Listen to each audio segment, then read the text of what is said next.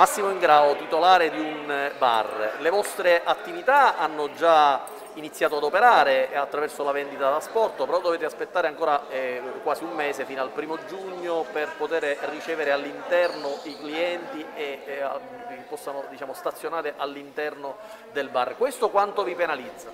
Allora, diciamo che la mia attività al momento è ancora chiusa, facciamo solo servizio a domicilio. Eh, e al riguardo da oggi si può fare l'asporto, alcune attività sono aperte, ma non so fino a che punto vale la pena, visto i costi di gestione di un'attività. Tutte... Voi avete deciso di fare solo il servizio a domicilio e non l'asporto? Sì, abbiamo deciso di fare il servizio a domicilio appunto perché i costi sono elevati di gestione. E poi questa normativa che ci obbliga ad aprire regolarmente forse il primo, aprile, il primo giugno, scusate, e il primo giugno quanto lontano, visto le spese che abbiamo sostenuto, affitti. E la cosa che lamento ancora più grave è per i nostri dipendenti, che ancora non è arrivata la cassa integrazione.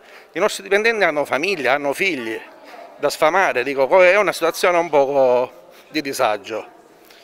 Poi l'economia già si vede, dico, Sciacca è morta, c'è qualcosa a vostro parere che si può fare anche a livello locale? Ne abbiamo parlato stamattina con il sindaco, già eh, si è proceduto alla sospensione dei tributi fino a maggio, ma si stanno anche valutando altre eh, possibilità e si attendono eh, diciamo, eh, i risultati di questo lavoro e di questo studio che è in corso già nelle prossime ore. Qual è il vostro suggerimento? Niente, che suggerimento dobbiamo dare? L'unica cosa che possono fare per quanto riguarda il solo pubblico, magari allargare gli spazi, non fare pagare il solo pubblico, dico, e poi cercare di contenere noi il virus, giustamente è una, la salute al primo posto, però dico, eh, cosa può fare il sindaco? Non so cosa può fare. Tommaso Spughes, titolare di un negozio di abbigliamento sportivo, voi potrete aprire il 18 maggio. Il 18 maggio, ecco, sì. come valutate l'attuale eh, momento e quali sono le proposte che avanzate? Allora, intanto io dico che eh, l'apertura del 18 è un'apertura un po' troppo lontana. E secondo me era giusto eh, e corretto aprire anche prima ovviamente con le dovute cautele, con eh, le, far entrare le persone uno per volta, con il, i vari dispositivi per, per, per, la pandemia, però è una data un po' troppo lontana.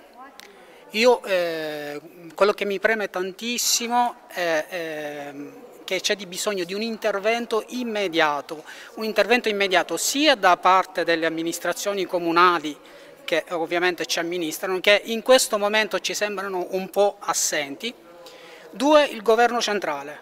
Interventi immediati sono interventi eh, per far sì eh, di tamponare gli affitti, ricordiamo che non veniamo un, da, un, una, da un, una stagione autunno-inverno felicissima, quindi gennaio, febbraio, marzo, aprile, siamo maggio e noi, dico tutti, tutti eh, attività commerciali, partite IVA, ristoranti, pizzerie, bar e così via, hanno uscito eh, soldi di tasca per pagare gli affitti, per non, parla per non parlare poi altri, delle, altre bollette, Enel, eh, luce, telefono.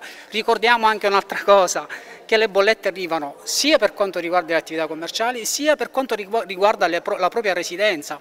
Quindi abbiamo bisogno immediatamente di interventi immediati.